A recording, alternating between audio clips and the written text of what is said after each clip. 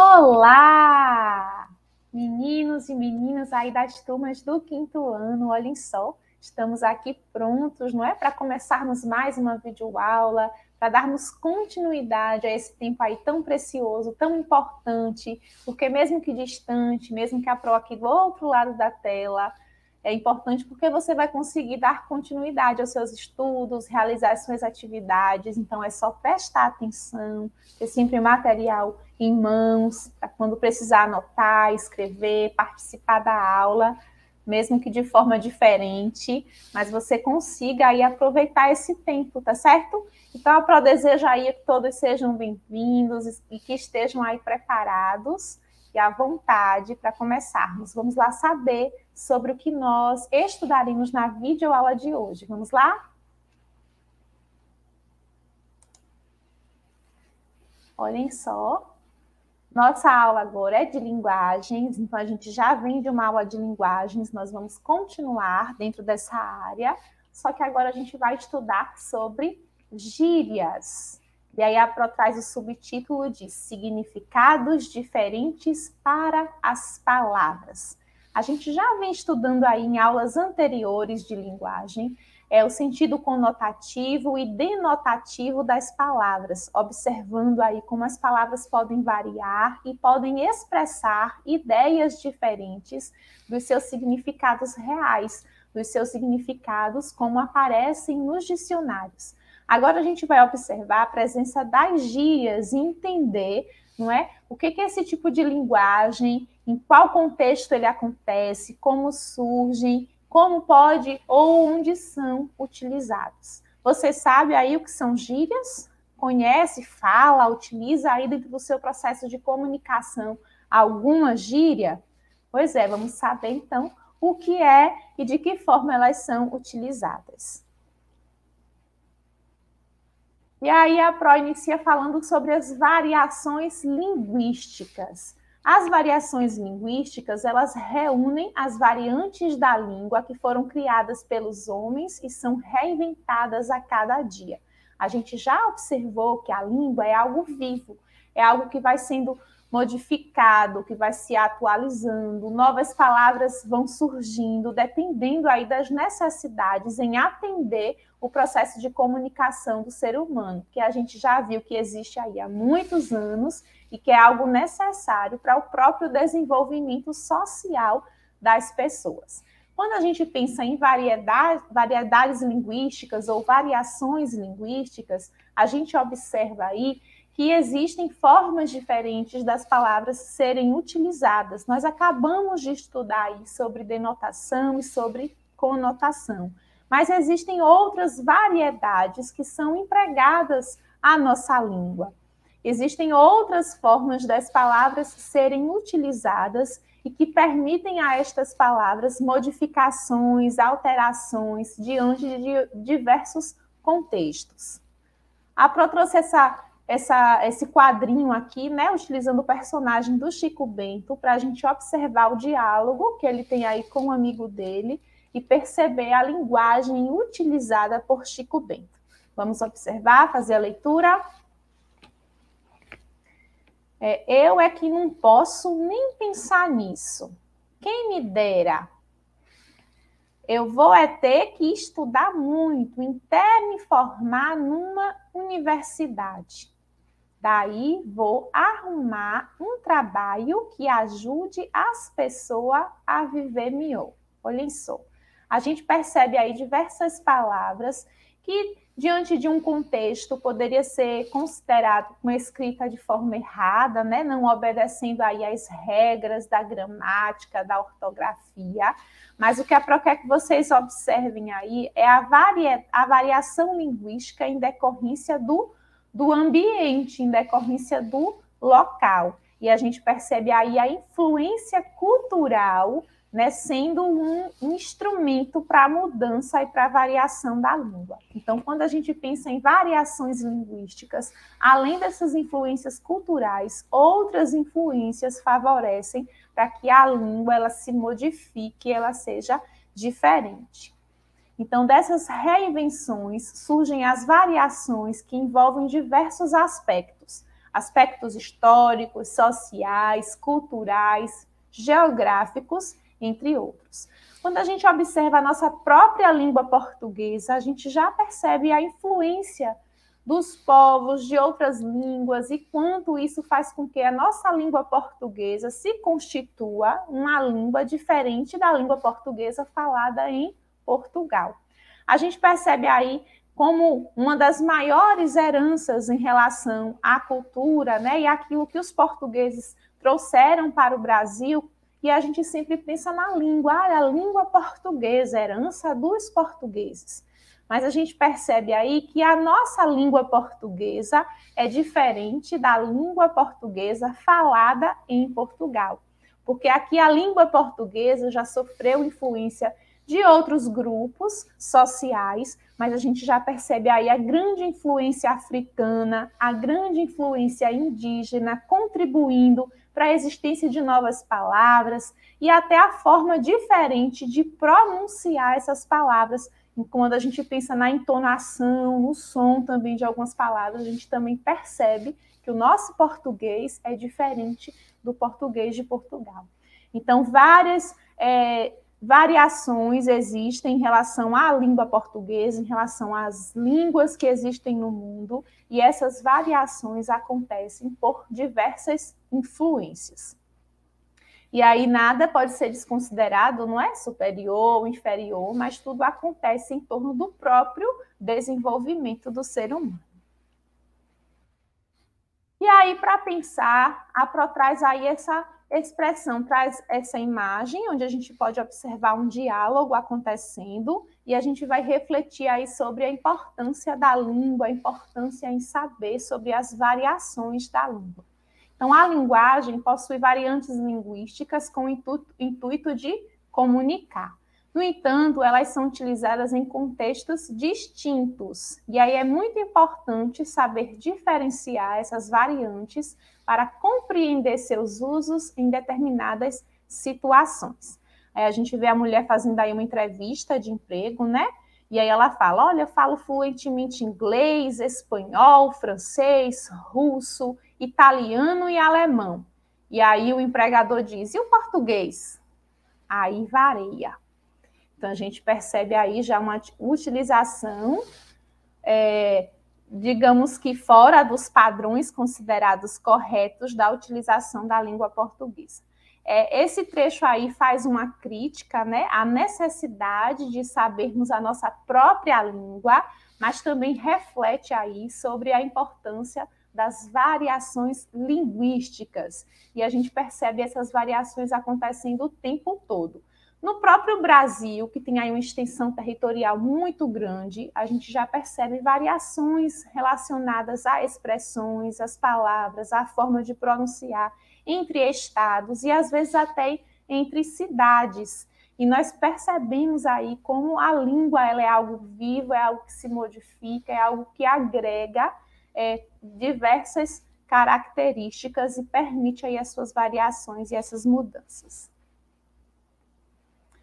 E aí, para falar dessas variações linguísticas e entender, não é, que dentro das variações existem aí adequações na utilização da língua, não se trata aqui de defender ou de acusar um tipo de linguagem, considerar superior, inferior, certo ou errado, mas de perceber que as variações da língua, as variações linguísticas, elas podem ser adaptadas e utilizadas dependendo do contexto, dependendo da necessidade. A gente vai assistir a um vídeo agora que tem como título aí ó, o que é a linguagem formal. Você sabe o que é a linguagem formal? Então, presta atenção aí, ó, de olho no vídeo, vai passar nesse instante. Sabe a Isa do quinto A? Olha, ela foi convidada para representar a escola dela em um evento lá na Câmara Municipal da cidade. Não é legal? Ela vai falar sobre as questões da escola, sobre os projetos que os alunos vêm desenvolvendo e sobre o papel dos professores nesse trabalho. Nossa! E se fôssemos eu ou você, será que a gente ia dar conta dessa responsabilidade? Claro, né? A gente ia se preparar do mesmo jeito que a Isa está se preparando e ia cuidar de todos os detalhes para fazer uma boa apresentação, a começar da nossa roupa. Num evento desse, desses, acho que não ia pegar bem a gente chegar lá de short ou de regata, né? Aí, resolvida a questão da roupa, a gente ia ter que começar a se preocupar com o texto, com o que a gente ia falar. Oi, galera? Acho que não ia pegar bem. Então dá para a gente se apresentar num evento desse tipo como se estivéssemos entre o nosso grupo de amigos ou com os membros da nossa família? Temos que usar uma linguagem formal. A gente não precisa ter medo da linguagem formal, não, sabe? Porque a linguagem formal não é falar difícil, de um jeito que ninguém entende. Falar formalmente é usar a língua de uma forma correta, respeitosa, educada. A Isa não vai entrar no plenário da Câmara Municipal e se dirigir a uma plateia que ela nunca viu antes, chamando todo mundo de turma. Provavelmente ela vai se apresentar, tratar as pessoas por senhoras e senhores, talvez até use vocês, mas com certeza ela adotará um jeito mais formal de se expressar. Em uma situação como essa que a Isa está vivendo, é importante saber usar o registro formal, mas a formalidade da fala ou do texto escrito não está restrita a um evento em uma Câmara Municipal. Claro, sempre que estivermos nos dirigindo a interlocutores com que não temos alguma intimidade, ou pessoas que acabamos de conhecer, é importante usar o registro formal. Se, por exemplo, compramos alguma coisa na internet e o produto chega com defeito, a gente vai ter que escrever um e-mail para a empresa eh, solicitando a solução. E, nesse e-mail, nós vamos usar a linguagem formal. Ué, a gente não sabe nem quem vai ler a mensagem. A gente tem que se mostrar formal numa comunicação como essa. Todos nós somos capazes de usar o registro formal. Como eu disse, usar esse tipo de registro não significa que temos que parecer o que não somos. Eu, a Isa ou você até podemos cometer um ou outro engano na hora em que a gente estiver falando com uma plateia. Tipo, sei lá, um plural que não sai direito, uma concordância meio esquisita. Cada um é cada um, tem o seu jeito de falar. Claro, todo mundo quer falar direito, quer se expressar bem, mas a língua, ela é muito dinâmica e ela exige que a gente esteja constantemente aprendendo a usá-la. O importante é saber o seguinte: usamos a linguagem informal em situações familiares, com pessoas com quem temos intimidade, em que há uma relação de carinho e cumplicidade. E usamos a linguagem formal quando tratamos com audiências desconhecidas, com quem não temos laços afetivos, mas a quem devemos respeito. Uma apresentação como a da Isa, uma palestra, um jornal escrito, um telejornal, um livro didático, Repare, todos esses meios de comunicação usam linguagem formal. E você consegue pensar em outros meios de comunicação em que a linguagem formal é a mais adequada? Que tal pensar nisso e fazer os exercícios desta aula para garantir que o tema ficou claro? A gente se vê por aí, hein? Até mais! Sabe a Isa do quinto A? Pronto, observando o vídeo aí a gente percebe a definição para a linguagem formal e para a linguagem informal. E percebendo nessas definições em relação às variações linguísticas, a gente entende a necessidade em conhecermos, em nos aprimorarmos em relação à língua portuguesa, dentro aí das visões formais e informais, para termos a possibilidade de adequar a linguagem ao, ao uso que ela é o principal instrumento que é a comunicação. Então, dependendo de com quem eu estou falando, dependendo do local que eu estou falando, ou que eu estou me comunicando, a linguagem ela vai sofrer alterações, recebendo palavras diferentes, recebendo expressões diferentes, para que esteja aí adequada ao momento. E o principal, lembra que a Pro falou do principal objetivo da comunicação, não é? É ser é, entendido, é que a, a, o texto, é que a mensagem ela seja compreendida, ela seja é, entregue de forma a ter uma interpretação correta daquilo que está sendo comunicado. E aí a Pro traz esses questionamentos para a gente lembrar, recordando do que foi passado aí no vídeo. Você sabe o que é linguagem formal? Olhem só. E linguagem informal Segundo o que a gente já observou aí, a linguagem formal, também chamada de linguagem culta, né, está pautada no uso correto das normas gramaticais, bem como na boa pronúncia das palavras. E aí muitas pessoas atribuem à linguagem formal falar difícil, né? Mas o principal objetivo da linguagem formal é tratar, né, envolver as palavras de forma correta de forma que essas palavras elas estejam aí baseadas nas normas, nas regras gramaticais. Então tem que ter a concordância correta, a, é, o significado correto dentro de cada contexto, a pronúncia correta. Então existem aí diversos é, definições que estão aí junto à utilização da linguagem formal. Lembrando aí que ela vai ser utilizada no momento, né, ou com pessoas que você não tem um grau de intimidade, é, para falar com autoridade. Então, para se expressar em determinados momentos que são diferentes dos momentos onde você vai poder utilizar a linguagem informal.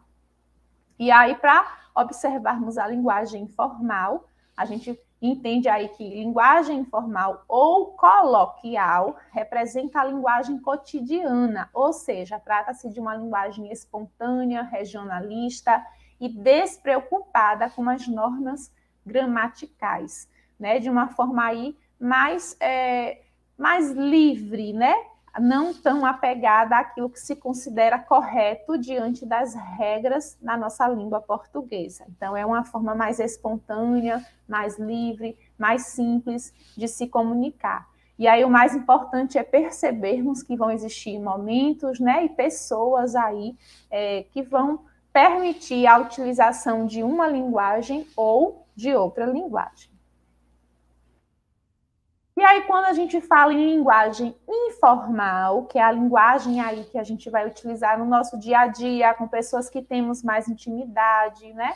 Com pessoas que não vão, não vai ser neste momento exigido o apego às regras gramaticais e a utilização é, correta das palavras em seu sentido real, em seu sentido objetivo, a gente vem entender então que são gírias.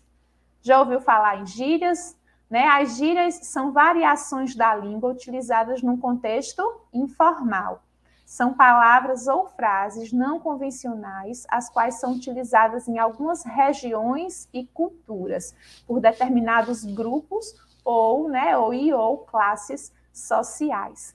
Lembra aqui a Pro falou que as a linguagem ela é influenciada por diversos aspectos, né? Por aspectos históricos, culturais, regionais. Então, as gírias entram dentro desse processo de variações linguísticas e sofrem aí também diversas influências, porque vão ter gírias próprias em relação aos tempos, em relação também aos locais, né? Então, tem gírias da Bahia, tem gírias que são utilizadas pelas pessoas em São Paulo. Então, a gente já percebe também essa variação acontecendo dentro das gírias. E aí, como é que as gírias elas aparecem? De onde elas surgem? Elas são criadas no intuito de substituir termos formais da língua, ou seja, não podem ser interpretadas de maneira literal, elas não podem ser inter interpretadas no sentido real, olha só, no sentido denotativo, e sim em seu sentido conotativo, ou que a gente acabou de aprender no sentido figurado. As gírias, elas são próprias de uma determinada época e muitas vezes deixam de existir quando caem em desuso. Então, elas surgem né, pela própria movimentação natural da língua, do processo de evolução e desenvolvimento da língua, e aí, em muitas situações, elas também deixam de existir, novas gírias aparecem, e isso também varia em relação aos grupos sociais, em relação à localização desses grupos sociais, para que as gírias é, permaneçam, se modifiquem, né? E façam parte do contexto aí dos diálogos, do processo de comunicação.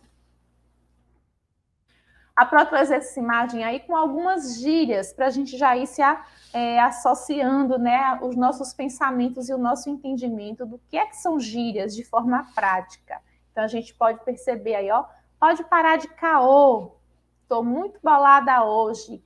Lembra daquela parada? Já é, meu irmão. A gente percebe aí palavras e expressões que são consideradas gírias, que surgem, né, com um sentido aí conotativo, não sentido real das palavras, para facilitar o processo de comunicação ou para permitir o processo de comunicação em determinados grupos. E aí, a Pro colocou aqui para saber mais. Então, além de tudo isso que a Pro já explicou sobre gírias, é importante a gente observar que algumas gírias podem surgir de palavras estrangeiras, por exemplo, a palavra brother, né? E aí, meu brother, ou e aí, brother, que significa irmão em inglês. E aí é uma gíria, né, utilizada por grupos para indicar um grande amigo. Então você chama de brother aquela pessoa que você considera um amigo importante. E aí esse fato, nesse fenômeno de utilizar uma palavra que pertence a outra língua e transformá-la em uma gíria, numa expressão, é, nós chamamos de estrangeirismo. E continuando aí, a gente vê também outras formas né, da palavra se modificando e receber influências. Além aí do estrangeirismo, a gente observa a existência do neologismo, que estão intimamente relacionados com as gírias, pois significam criação de novas palavras, as quais suprem determinadas lacunas da língua. Por exemplo, a palavra internetês, ou seja, a linguagem da internet. Então, são palavras que surgem né, para definir, para explicar determinadas situações que vão acontecendo diante do próprio desenvolvimento da sociedade, que até então né, não tem aí conceitos ou palavras que definam essa situação. Então, a gente já vê a utilização do exemplo internetês para se referir à linguagem que vem da internet. E aí existem tipos diferentes de gírias. A Pro traz essa tirinha aí para a gente observar, né? De que dependendo da profissão, dependendo da, da, às vezes do grupo social, da idade, as gírias elas podem fazer parte aí de diálogos de alguns e de outros não. Nessa tirinha aí a gente vê um médico conversando com seu paciente. E aí ele diz assim: de acordo com o laudo, você está com um processo de intumescência resultante de lesão inflamatória e necrose subcutânea. Aí o paciente fala: Meu Deus, doutor, e quanto tempo eu tenho de vida? Aí o médico explica: Ah, não se preocupe, é só um furúnculo. E aí agora ele utiliza no final a expressão que torna, né, que explica o que ele falou anteriormente. Mas o que a gente pode observar? Por que será que o paciente, num primeiro momento, não conseguiu compreender é, o que o médico lhe passou, né? O que o médico lhe comunicou? Porque existem aí nesse processo de comunicação palavras e expressões que são próprias da linguagem do médico, mas para a linguagem do paciente não se tornou acessível, não se tornou compreensível. Então, de certa forma, Todos os grupos sociais possuem certa quantidade de palavras ou expressões que usam em seu ambiente. E aí estas são chamadas de gírias de grupos. E as gírias de grupos podem estar associadas a diversas situações, né? A idade, a o grupo social, a localização, a profissão e diversos grupos que vão sendo formados e que constituem a sociedade.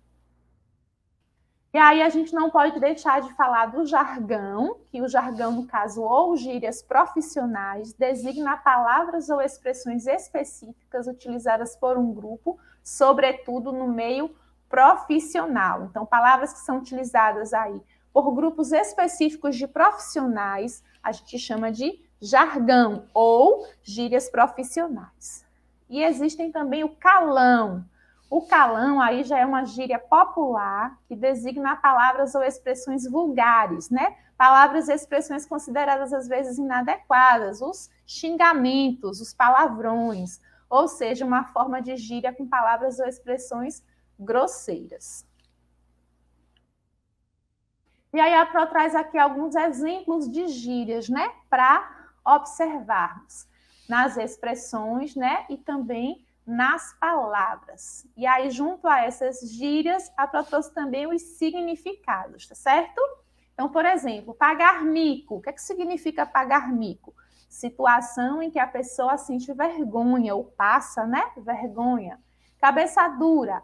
Pessoa muito teimosa. Ah, que fulano é cabeça dura, viu? Quer dizer que ela é teimosa, né? Que ela é insistente.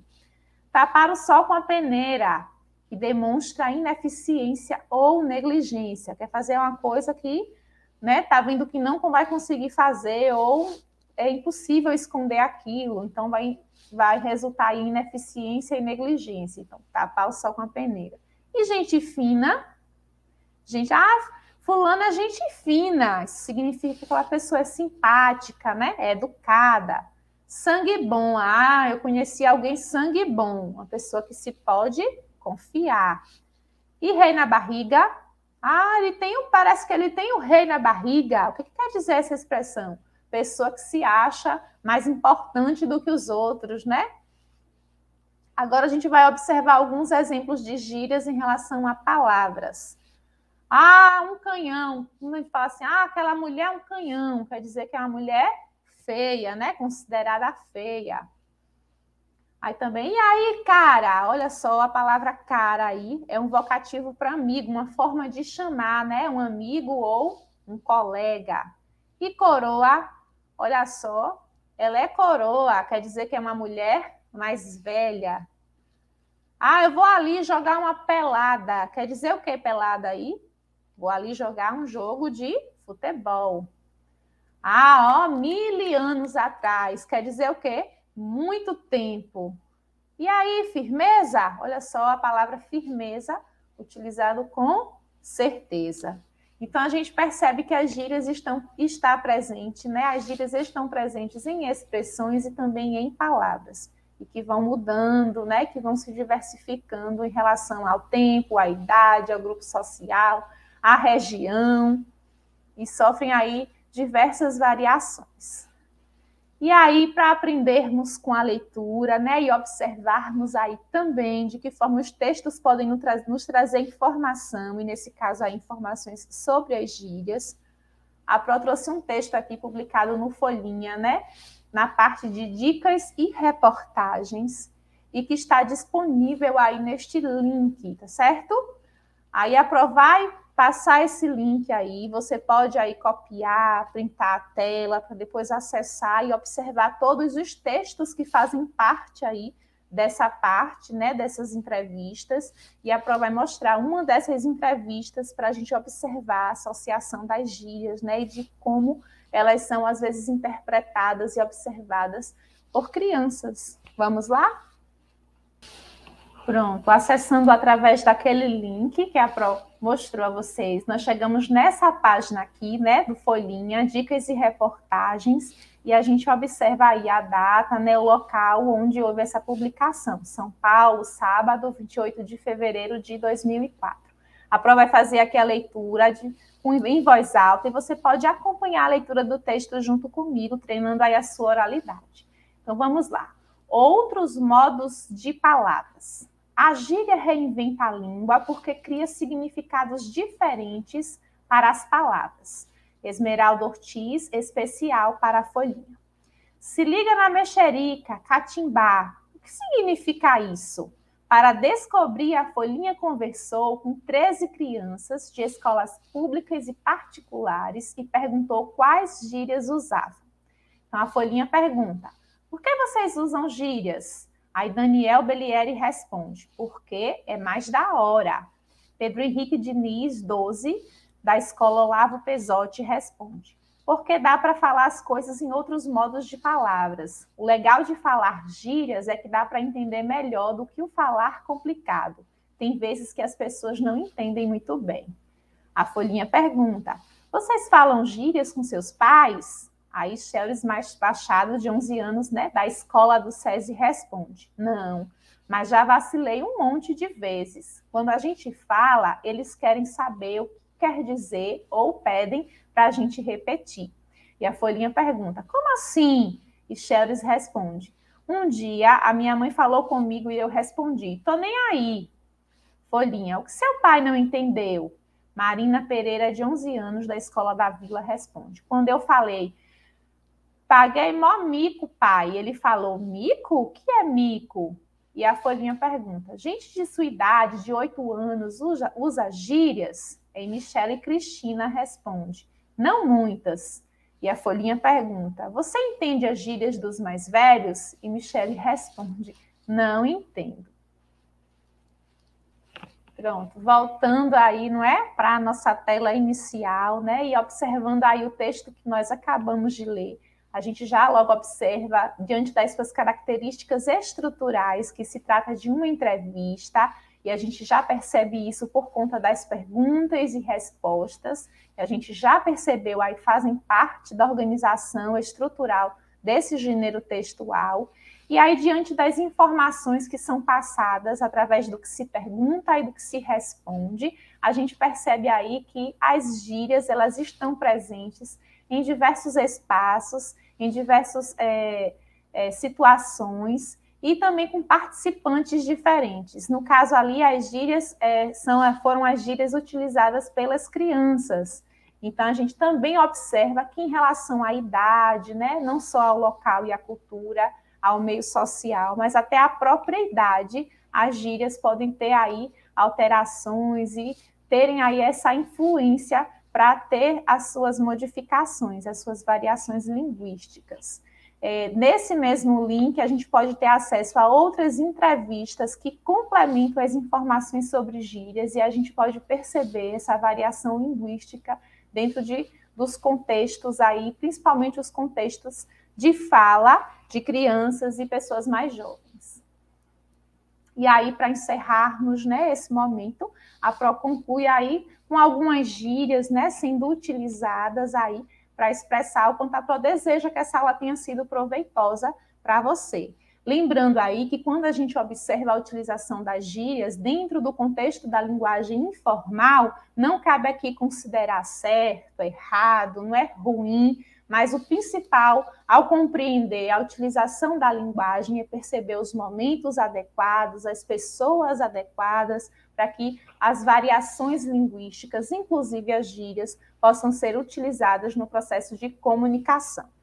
Então, olhem só, agora é com você, como a Pro sempre termina, mas aí agora a Pro usou algumas gírias para concluir a aula. Estudar é massa, aprender é da hora e fica ligado. Tchau, tchau, turma.